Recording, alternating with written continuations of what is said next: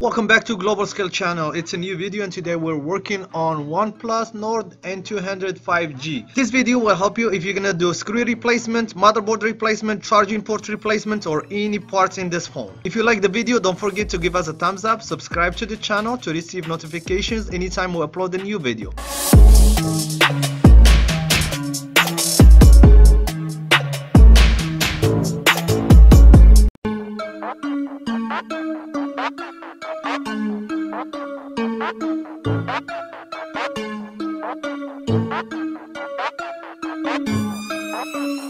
Yeah.